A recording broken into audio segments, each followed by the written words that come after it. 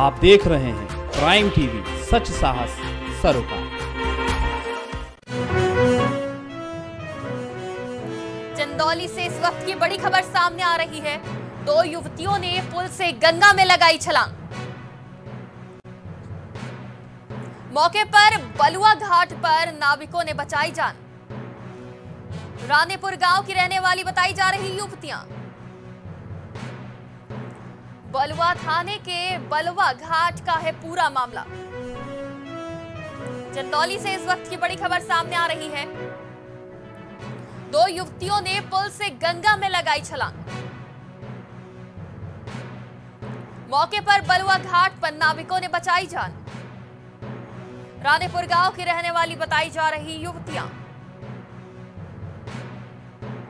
बलुआ थाने के बलुआ घाट का है पूरा मामला। रायबरेली से इस वक्त की बड़ी खबर सामने आ रही है। ज़िले की कानून व्यवस्था हुई ध्वस्त। अपराधियों में नहीं रहा कानून का कोई खौफ। गाँव के किनारे पड़ा मिला ज्ञात महिला का शव। शव के ऊपर कई चोट के मिले निशान। शव के पास से बरामद हुई पॉलीथीन में भरी दवाएँ। पोस्टमार्टम के लिए भेजा गया शव। ऊंचाहार कोतवाली क्षेत्र के कटिया चित्रा गाँव का मामला। रायबरेली से इस वक्त की बड़ी खबर सामने आ रही है। ज़िले की कानून व्यवस्था हुई ध्वस्त। अपराधियों में नहीं रहा कानून का कोई खौफ। गाँव के किनारे पड़ा मिला अज्ञात महिला का शव। शव के ऊपर कई चोट के भी मिले निशान। रायबरेली से इस वक्त की एक और बड़ी खबर सामने आ रही है।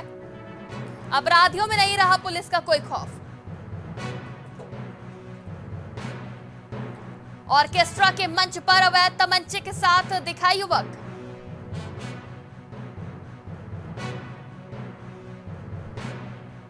युवक का वीडियो हुआ वायरल।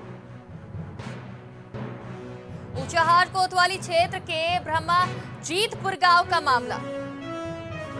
रायबरेली से इस वक्त की बड़ी खबर सामने आ रही है। अपराधियों में नहीं रहा पुलिस का कोई खौफ।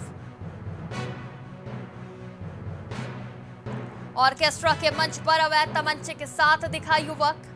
अवैध तमंचा लगाकर डांस करते दिखा युवक। युवक का वीडियो वायरल हो रहा।